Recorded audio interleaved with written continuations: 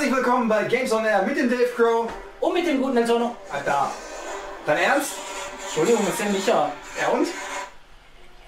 Ich kann doch nicht einfach zu Micha. Ist egal, stroh jetzt. Ja, hallo, Chef? Ja, natürlich, ich stehe stramm. Äh, äh, Tono auch. Ja, ja, ja. Äh, wie, wie kann ich helfen, Chef? Oh, okay. Ähm, hast du den Echo vielleicht schon? Ja, okay, okay. Äh, kann ich denn den Tono mitnehmen? Okay, all, ja, alles klar, alles klar. Äh, ja, natürlich, mit viel mehr Begeisterung. Chef, Dankeschön, Dankeschön. Ich, äh, ich werde dich nicht enttäuschen, alles klar. Äh, ciao dann, bis zum nächsten Mal. Was wollte er jetzt von dir? Äh, Fidel und Metzel fallen wohl aus. Äh, Ich soll die Let's Player TV News machen? Schön, solange ich nicht dabei sein muss. Äh, musste nicht, ich soll es alleine machen. Ja. Ja, gut. Äh, Viel Spaß mit den Spacken. oh Mann. Ich gehe dann mal rüber ins alte Studio. Ja. Äh, machen wir dann später weiter hier. Ciao. Ciao. Herzlich willkommen zu den Let's Player TV News. Ich bin der El Tono und jetzt geht's zum großartigen Dave Crow.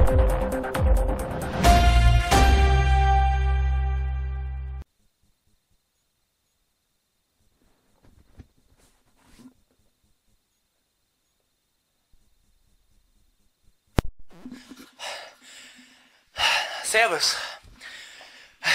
Bevor ihr fragt, warum ich so außer Pust bin, das gute Studio, unser Studio, das von Games on Air, liegt leider auf anderen Straßenseite.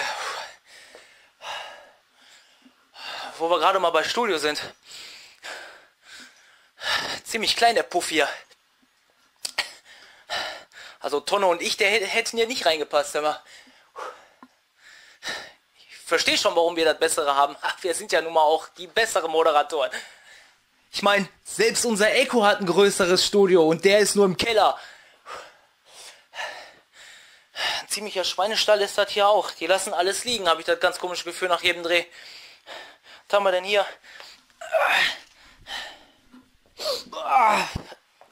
Also, so wie die stinkt, müsste die vom Fiedel sein. Könnte auch mal waschen. Aber egal, die lasse ich jetzt einfach an, drauf geschissen. Ich glaube, hier liegt auch noch ein Zettel vom Metze. Mal gucken, was drauf steht. Ha, aber nicht damit ihr jetzt denkt, ich fange jetzt hier an zu babbele. Wie der. So ganz bestimmt nicht. Wir fangen jetzt einfach ganz normal an mit den Let's Player TV News. Bis gleich. Sind wir auch schon bei den Let's Player TV News. Tja, wie immer, guten Tag, guten Abend oder wann immer ihr euch auch diese Sendung gerade anschaut. Alle Themen, die wir heute hier zu sehen bekommt oder hört von mir, die findet ihr wie immer in der Videobeschreibung. Ich sage, bevor wir jetzt hier weiter doof rumlabern, oder beziehungsweise bevor ich weiter hier doof rumlaber, fangen wir doch einfach an mit dem ersten Thema. Wer auf die Gamescom 2015 gehen will und sich noch keine Tickets reserviert hat, der wird in rund einer Woche Schwierigkeiten bekommen. Denn die Tagestickets sind alle ausverkauft. Mit etwas Glück kommt man an Nachmittagskarten. Deren Verkauf startet täglich um 14 Uhr an den Schaltern der Gamescom. Allerdings ist mit enormen Wartezeiten zu rechnen, bringt also etwas Zeit mit. Für Leute, die also weiter weg wohnen, wird es sich eher weniger lohnen, zur Gamescom zu fahren und ihr Glück zu versuchen. Natürlich werden wieder solche Größen wie Microsoft, EA, Namco, Konami, Ubisoft und viele andere auf der diesjährigen Gamescom vertreten sein. Aber nicht nur Gamerherzen können höher schlagen, denn es wird eine Let's Play Meets Gamescom Bühne geben. Das heißt Let's Player direkt vor eurer Nase. Angekündigt sind bis jetzt Pete's Meat, Nintendo, Mr. More Games, Herr Currywurst und Mafuyo und viele, viele mehr. Und für all diejenigen unter euch, die nach dem stundenlangen Stehen und Gedränge noch nicht genug haben, nach der Gamescom wird es nämlich weitergehen mit Last Man Standing 3. Ihr habt richtig gehört, Last Man Standing 3 wird auf der Gamescom vorgeführt. Karten dafür, wurde mir gesagt, gibt's auf der Gamescom selber für rund 10 Euro. Bleibt nichts weiter zu sagen, außer viel Spaß mit dieser Unterhaltung. Wer sich für Startups und deren Landschaft interessiert, der wird irgendwann auch über den YouTube-Kanal Venture TV stolpern. Hier erscheinen seit rund fünf Jahren regelmäßig Videos über die Startup-Welt in Deutschland.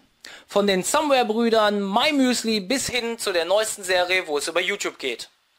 Zuletzt erst kamen drei interessante Interviews, wo man einiges erfährt. In einem Video ist LeFloid zu sehen, welcher zuletzt unsere Bundeskanzlerin Angela Merkel interviewt hatte. Im nächsten ein Mitarbeiter vom YouTube Space Berlin und Philipp Streuer, welcher einmal beim YouTube-Partnernetzwerk Mediakraft tätig war. Fürs Wochenende sicherlich nicht die schlechtesten Videos. Nehmt euch ein paar Minuten Zeit und schaut euch die Interviews an. An so manchen Stellen wird es doch sehr interessant und man bekommt einen neuen kleinen Einblick in die YouTuber-Welt. Die zweite Staffel von Tube Clash befindet sich bereits in der Postproduktion. Nun können Vorschläge für Kanäle, die bei der zweiten Staffel mit dabei sein sollen, bei Dark Victory eingereicht werden. Es ist gar nicht so lange her, da beendete Dark Victory die erste Staffel Tube Clash. Die Serie, in welcher YouTuber auf einer vermeintlich verlassenen Insel gestrandet sind, wurde ein national gefeierter Überraschungshit.